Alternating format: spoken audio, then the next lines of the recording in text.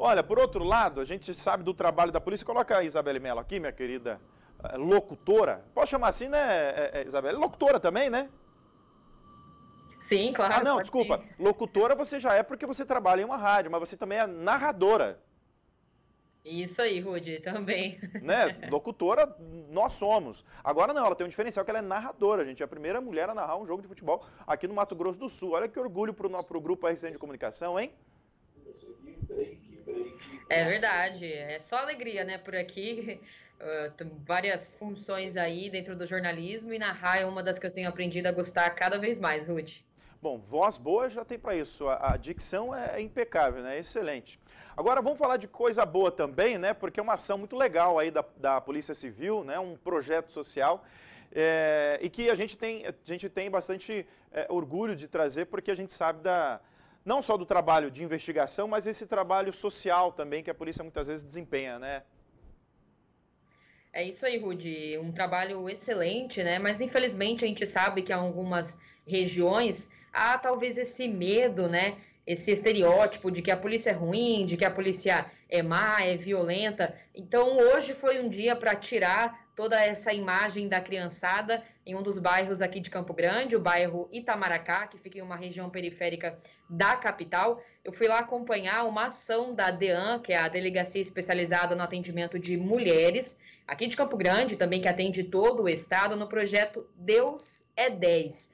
Esse projeto, ele é presidido, né, foi criado pelo Johnny Fernandes há cinco anos atrás, quando Johnny perdeu dois irmãos para o tráfico de drogas, o mundo do crime. Então ele decidiu que ele queria fazer algo pelas crianças ali da região. Então ele criou o projeto junto com a esposa, a Suelen Martinez, que hoje é secretária desse projeto que atende mais de 60 crianças em dois polos. É esse no bairro Itamaracá, em outro no bairro Campo Alto, também aqui em Campo Grande. Aí hoje o pessoal da DEAN, depois de conhecer todo esse projeto, foi fazer uma entrega de brinquedos. Foram mais de 60 brinquedos novos entregues. Esses brinquedos que foram arrecadados ali pelo pessoal que trabalha, delegadas, é, secretárias, estagiários, todo mundo que trabalha ali na DEAN participou. E foi muito bacana, porque antes dessa chegada né, dos policiais, da delegada é, Elaine Cristina, que é ali que coordena a DEAN, eu estava conversando com o Johnny e ele me explicou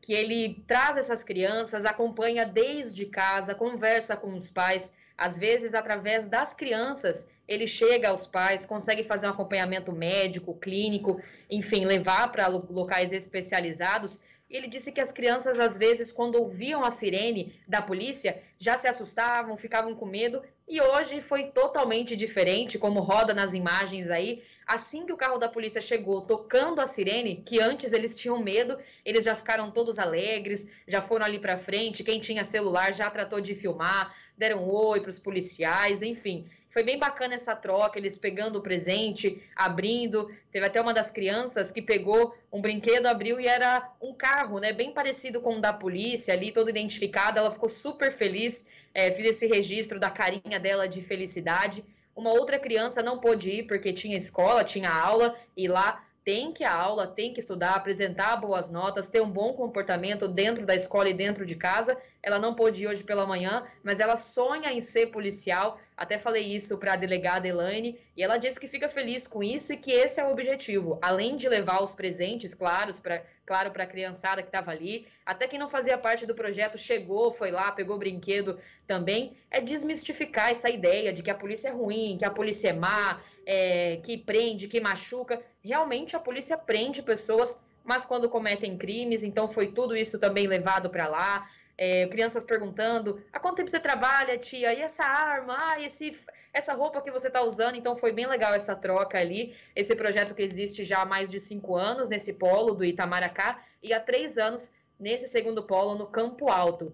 E para o pessoal aí que viu as imagens, acompanhou, se tocou com o projeto, também dá para acompanhar ele pelas redes sociais, pelo Insta e pelo Facebook, no arroba Projeto Deus é 10, bem bacana, e que agora, nesse Dia das Crianças que está chegando, levou um pouco de alegria ali também, e até mesmo os policiais nessa troca ficaram bem felizes, Rude.